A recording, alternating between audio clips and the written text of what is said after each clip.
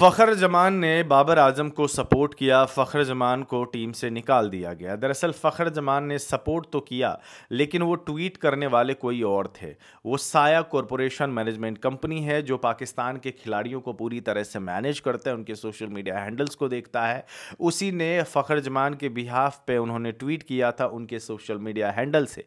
लेकिन अभी आप अगर सोशल मीडिया उठा के देखेंगे तो फ़खर जमान जब टीम से ड्रॉप हुए तो इक्का दुक्का प्लेयर ही पाकिस्तान के इस ओपनर बल्लेबाज के सपोर्ट में खड़े हुए, जिसमें से एक नाम मोहम्मद आमिर का भी है। मोहम्मद आमिर ने अपने सोशल मीडिया हैंडल और अपने यूट्यूब चैनल पर भी उन्होंने ये बात कही है कि फ़खर जमान को एक डांट फटकार लगा के चीज़ों को दबाया जा सकता था कि आपने क्यों ऐसा अलाउ करने, आपने अनुमति क्यों दी? लेकिन अब पीसीबी अपने ईगो पे उतर आया है और पीसीबी का ये कहना है कि फ़खर जमान ने पीसीबी के रूल्स एंड रेगुलेशंस का उन्होंने उल्लंघन किया है वायलेट किया है और इसी वजह से फ़खर जमान को टीम से बाहर का रास्ता, न सिर्फ़ टीम का बल्कि कॉन्ट्रैक्ट लिस्ट से भी बाहर कर दिया गया है। अब ये मैसेज पीसीबी इसलिए ये देना चाह रहा है सबके सामने पीसीबी ये बताने की कोशिश कर रहा है कि कोई भी खिलाड़ी बोर्ड से बड़ा नहीं होता है। आप कितने भी बड़े हो जाए आपके पास कितनी भी बड़ी फ़ैन फॉलोइंग क्यों ना हो जाए आप कितने भी बड़े आ, मैच विनर क्यों ना हो जाए लेकिन अगर आप ऑर्गेनाइजेशन के ख़िलाफ़ जाएँगे तो आपके साथ भी यही होगा। और पीसीबी ने फ़खर जमान को कॉन्ट्रैक्ट लिस्ट से बाहर किया। फ़खर जमान के साथ एक और चीज़ जो मसला है वो ये कि जब कनेक्शन कैंप लगा था तो उस्मान वाला को उन्होंने जम के रेला था और साथ में उस उसामा मीर ने भी फ़खर जमान का साथ दिया था। अजीब बात यह है कि उस्तामा मीर, जिन्होंने बाबर आज़म के लिए कोई ट्वीट भी नहीं किया, वो भी कॉन्ट्रैक्ट लिस्ट में नहीं है। ये वही उसामा मीर हैं जो आपको वर्ल्ड कप के दौरान खेलते हुए नज़र आए थे पाकिस्तान टीम में। उसके बाद से नदारद वो दिख रहे हैं। उनको पाकिस्तान टीम में एंट्री नहीं मिली है और साथ ही साथ कॉन्ट्रैक्ट लिस्ट से भी उनको बाहर का रास्ता दिखाया गया है। पीसीबी पूरी तरह से गैर जिम्मेदार हैं। आप उनको भला बुरा कह सकते हैं। लेकिन कोई भी बोर्ड नहीं चाहेगा कि उनके अगेंस्ट कोई भी प्लेयर जाए और अपने आप को वो बड़ा दिखाए।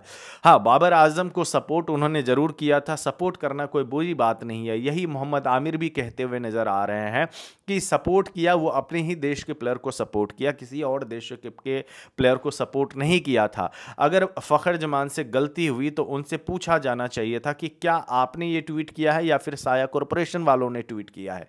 पीसीबी ये चीज़ संज्ञान में ना लेते हुए अहम फैसला उन्होंने कर दिया।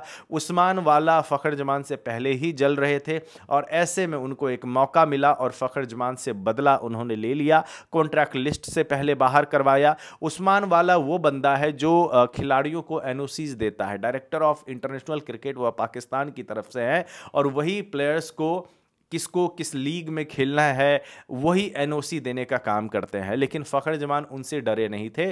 उन्होंने उस्मान वाला की रेल बना के रख दिया था कनेक्शन कैंप के दौरान में।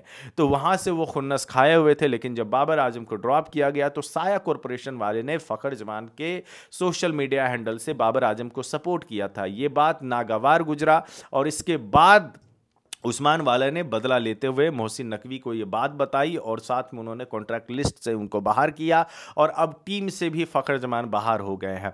खबर ये आ रही है कि फ़खर जमान ने साया कॉरपोरेशन से अपना पल्ला झाड़ लिया है और उन्होंने उनके भाई ने ये भी बात बताई है, फ़खर जमान के भाई ने कि साया कॉरपोरेशन के साथ अब वो कभी भी कोई डील नहीं करेंगे, कभी भी वो नहीं जुड़ेंगे। लेकिन बात वहीं पर अटक के आ जाती है कि क्या अब फ़खर जमान की वापसी होगी। कहा तो ये जा रहा है कि जनवरी में एक बार और फिटनेस टेस्ट होना है। फ़खर जमान का नी इंजरी आई थिंक उनको है। ये कहा जा रहा है, लेकिन फिटनेस एक बहाना है। दरअसल में फ़खर जमान को नीचा दिखाने के लिए, उसको एक लाइन पे लाने के लिए पीसीबी ने ये स्टेप उठाया है।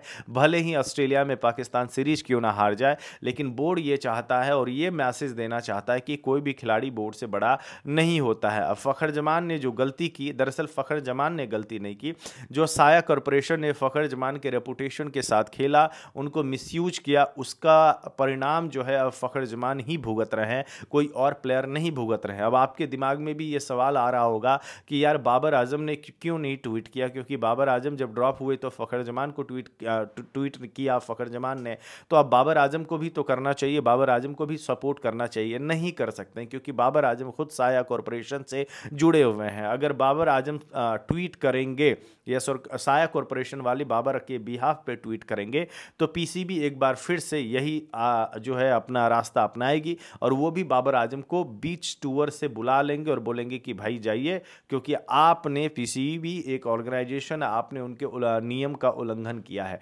तो मोहम्मद आमिर का भी कहना सही है कि इतनी बड़ी सज़ा नहीं दी जा सकती थी। अगर उनको एक नोटिस दे दिया गया होता नोटिस हालाँकि भिजवाया था लेकिन साथ में डांट फटकार लगा के इस मैटर को वहीं पे शांत कर दिया जाता तो ज़्यादा बेहतर होता। ऐसे में ये हो जाता कि फ़खर जमान को भी डांट सुन डांट सुन लेते वो और मैटर वहीं क्लोज हो जाता और साथ में फ़खर जमान ऑस्ट्रेलिया चले जाते और वो पाकिस्तान टीम के साथ खेल रहे होते। बट ऐसा नहीं हो पाया है और अब जो है पाकिस्तान और साथ में फ़खर जमान को नुकसान उठाना पड़ रहा है। बाबर आज़म इस समय बोलेंगे तो बोलेंगे क्या उनका करियर खुद जो है इस समय स्टेक पर लगा हुआ है? सवालिया निशान खड़े हैं। अगर बाबर आज़म फ्लॉप हो गए ऑस्ट्रेलिया में तो पीसीबी के पास एक ज़रूर बहाना मिल जाएगा कि भाई ये ख़राब फॉर्म से गुजर रहे हैं, इनको टीम से निकाल दो। पाकिस्तान क्रिकेट बोर्ड में कुछ भी सही नहीं हो रहा है और उसमें जो रायता फैलाने का काम किया वो है साया कॉरपोरेशन वालों का।